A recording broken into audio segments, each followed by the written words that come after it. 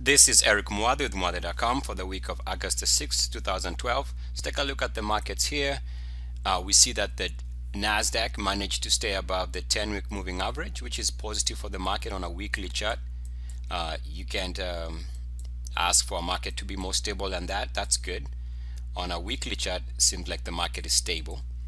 If you take a look at it from a daily chart, then you start seeing a little bit of cracks in the market formation you know generally you can say that the confusion the big up days and big down days is based on the fact that markets been trading in this narrowing range. Now it might seem that we are out of this range here um, with this move a 2% move but uh, that's on the daily price action. If you take a look at the RSI action you see that the market has been stalling in this general area here which means that really we haven't seen any breakout as far as the sentiment is concerned. So uh, despite the price trying to move out of a range, sentiment still remains within resistance. If you take a look at the Dow again from a weekly chart, you see that the 10 week moving average is pointing higher so is the 33 week moving average pointing higher so that's a stable market that wants to move higher in this type of scenario you, you still want to play quality breakouts in leadership um, sectors so the weekly again on the Dow looks solid. Now if you start looking at it from a daily chart, you'll see that the market is still trading in this upward channel here. We've been trading in this range oh since about June. So in that range there. So there's no really breakout. What looks good is the fact that now we have a 50 day moving average pointing higher and the 200 is still pointing higher. So net net on a medium term, the market seems positive.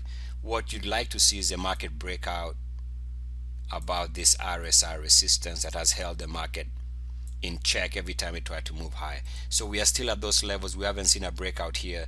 My conclusion is the market needs to prove itself before it can move higher. If you take a look at the Dow from a monthly perspective, from an hourly perspective, you'll see that we are trading in this we've been finding resistance every time we hit this line here. And that's where we hit the highs there pull back before the close con being confined by the resistance on the RSI at that level here. This has been an area of resistance. So we see that the market is trading on the higher side of its range uh, suggesting more than likely the next move might be to the downside. As you can see the market's been making a short-term high here but the technicals have not followed through that suggests a market that on an hour to hour basis might be looking to pull back first and foremost. Otherwise the only way to correct that is with a powerful breakout on the 30 minute charts here. That breakout would be uh, reason to suggest that the market wants to move high otherwise now we see resistance levels. If we take a look at the S&P 500 from an hourly chart you see that it's been making higher highs on this double line here top lines. And you see most recently we had a high there that was not corresponding there was no corresponding higher high on the RSI that negative divergence could lead to, to a market pullback on an hour to hour basis. Let's look at take a look at some world markets. You see the Brazilian market finally managed to get out of this funk. Moving higher here over the last couple of days still way below the 200 day moving average. So net net is still negative. You see that the RSI has yet to break out above this resistance level here just like in the US market. So this 3% move in the Brazilian market net net is suspect. If you take a look at the French market you see that if you take the highs over the last year or so you see that we are now trading it precisely at that what could be a breakout or resistance level. I think it's a resistance level based on the fact that we've been unable to move above this RSI level here going back to about actually going back to uh, March of this year. So we haven't moved above that level on the RSI so there's no breakout on the RSI which suggests to me that this is just the top end of a trading range. The next move might be to see the market move lower if you take a look at the French market from a weekly chart, you see that there's an established resistance line here on a weekly. And this could be trouble. We need to see this break out. Otherwise, this is going to be confirmed resistance on the short uh, short term. You take a look at the RSI, take this high and that high, draw a straight line. You see that the green line here is where you'd find resistance on sentiment as far as the RSI is concerned. The fact that we've had a big move towards this this price surge, quick move towards this level here could suggest the next short-term move is to the downside. The, again, the German market here, you see that we are trading on the underside of this line here. We haven't moved above this line ever since we broke down here. We've bumped off this line multiple occasions and now we are trading at this level. Normally when you see that you get this pullback that comes next. And I have an example for you uh, that you know that this underside could be resistance. If we take a look at what happened for crude oil on a weekly chart for crude oil you'll notice that sometime in the beginning of this year we had moved below this this line here. We moved below this line here and could not move above this level here this the last time we hit this level was about 110 in crude oil and we finally gave back all those gains and went as low as $80 so the underside of what was support could be resistance. So if I bring back that chart here so what I'm saying is this this area here as far as the German market is concerned this underside of this line could turn out to be resistance. Also that corresponds with the resistance on this level here on the RSI which has been short-term resistance going back a couple of months. So we need to see a breakout otherwise this is just nothing but a trap in this uh, German market setup. Uh, if you take a look at the German market from a monthly chart you see that the RSI take that high that high. You see that we are trading at this RSI what has been an area of resistance. Uh, what I like about this is the fact that now we have an upward crossover between the 10 week moving average and the 33 week moving average. That's short-term bullish. The last time we had that kind of a crossover was here and we had a multi-month rally. Before that the last crossover on the bullish side was a crossover here was July of 2009 and we saw the market move of almost one and a half years to the upside. So this crossover between the 10 week moving average and the 33 week moving average something we need to keep an eye on because if that stays the formation you'd expect that this market continues moving higher over time. So the weekly charts are showing both RSI potential resistance levels here yet we see that this could be the early sign of a crossover with a move higher in the coming months. Kind of confusing but that's the setup. Market is always confusing the um, London market the FTSE you see that the RSI has yet to break out here. So there's resistance on the RSI we haven't seen a breakout. Until we break out uh, all movements here are gonna be looked at with some level of suspicion. Uh, even though we see that there's some kind of breakout short term here broke out of this range about 5700 57,000 here 5700 broke out there. So this 2% rally could be the beginning of something uh, we'll see what happens but we need to see the RSI confirmed with a, with a sentiment breakout otherwise this is just another fake market move uh, the London market, again, I want to point out to you two conflicting factors here. We see that the RSI is trying to cross over, which would be bullish. I mean, the uh, moving averages, the 10 week moving average and the 33 week moving average could cross over here. That could be short term bullish and lead this market to at least challenge the highs here. Or we could find confirmed resistance because the RSI is back at a resistance level there. So we'll, we're going to know here in the coming week in the next week or so whether that's going to be resistance area or a, or a beginning of a crossover and a good rally the last crossover again here uh, saw the market move higher for a couple of for a couple of weeks and the, prior to that the bullish crossover was here in, in uh, July and we saw the market have a multi-month rally. So again we are looking at a potential crossover there suggesting that month to month the market might be wanting to push higher. Let's take a look at the QQQ again we see that breaking out of a range here.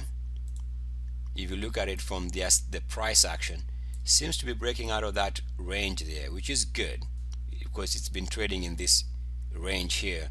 So a nice breakout short term. Problem is on the RSI you see that we have resistance here. So we have not broken out on the RSI we needed to really show us confirmation by breaking out. Otherwise this could be another trap in the market. If you take a look at the Nasdaq 100 on the monthly chart uh, we seem to be bouncing off these lows here. This is a 13 year monthly chart we've been finding support on the downside here. And so we are trying to break out or move out of this range here. Also RSI could either be forming support here but if this doesn't work out we could have a break of this area which could lead to a disastrous move in the market. The banking index again still trading within a range a, gen a generic range being in this triangle here we haven't really broken out. We are still trading in this range. Again RSI showing multiple levels of resistance. Until we can break out here all movements to the upside are gonna be suspect. The IYR if you take a look at the daily chart you see that we've been trying to make this breakout here. Hasn't taken place. Um, so until we can break out of this range this is just uh, to me could be a trap if you take a look at the IYR from a weekly chart you'll see that the real estate ETF is again we've been making higher highs here in price on a weekly chart yet you see that the RSI has not been following through. So this negative divergence could lead to a long-term sell-off. Again we need a breakout on the RSI we need the RSI to break out to confirm that this actually could be a strong move down the road. For now all we can say is that it's back at resistance level. We don't know what happens next. If it can't move above that then that's a fake move. Uh, the DRN which is three times the e the real estate market a bull ETF needs to uh, break out above 79.884 which is this highest weekly close here going back to middle of last year. Uh, so right now we seem to be finding resistance in this level here. We haven't broken out. We'll see what happens. Again you see that the RSI is showing this could be an area of resistance unless it can break out. The CRB index what I want to point out here is that it's been struggling to stay above this line here which also happens to be an area where we have the 200 day moving average. So again upside resistance uh, seen all over the place. Gold is closer to a 52 week low. The, you know the high is here at about 1875 and it's trading at about 1600 really gold is closer to surprisingly closer to a 52 week low as opposed to a 52 week high. So you know gold is still trading in a range. We don't know which way it wants to go but hard to tell. Just given the fact that it's trading uh, closer to its 50 day moving average and below uh, below its 150 day moving average. So we'll see where gold, gold goes. For now to me it's very inconclusive. If you take a look at the dollar the dollar reversed here after this sharp move and back. Uh, seems to me that this RSI level here could be a support area but again it's still trading closer to its 50 day moving average. We'll see um, I think the dollar generally I would say trading closer to its 50 day moving average slightly below but above its 150 day moving average and above the 200 day moving average. So net net the dollar to me seems like it could be just forming a nice base even though you can also argue that we seem to be have failed to break out here and the next move on the dollar is down which might make sense because if you take a look at the dollar chart we are now trading below this 81.83 level so the weekly chart could be suggesting that the dollar could have seen the highs for short term. Also notice that this double top on the RSI on a weekly does not help the dollar chart. So the dollar unless it can break out on a weekly chart here above this level here maybe the dollar pulls back a little bit more which might suggest gold could be uh, moving high. If you take a look at the BTK the BTK the biotech index um, what I can see here is adding on to the fact that I think the market pulls back short term just because you see that a failed breakout here. Uh, it has tried twice on a weekly chart to break out above this level here and failed. You see that the RSIs have been finding resistance here on multiple occasions going back to uh, February, March of this year. Resistance there galore. Also notice that the the trend line was broken here. You take that this price levels and draw a straight line. We broke down as far as price was concerned here. So you know, to me, the biotech index is one of the leadership sectors, but seems to be breaking down. We'll see how it, how it goes. Um, also, you see the, the airline index, which tends to be a leading leading the market. Uh, airline index to me on a on a monthly chart. What I'm watching here on a monthly chart is the MACDs could break down here. Uh, MACD main MACD could break down and push this market lower. Uh, otherwise, I think it's a kind of market environment where you want to stay long if you're long with your stops. Play quality breakouts. Otherwise, more than likely the market is probably in a range. It's lots of conflicting information as always, but trading in a range. Uh, short term, I see a pullback on a day-to-day -day basis, but week to week, the market does seem healthy enough to play quality breakouts. This is Eric Muathe with Muathe.com. Uh, be careful out there. Good luck, uh, peace, and blessings.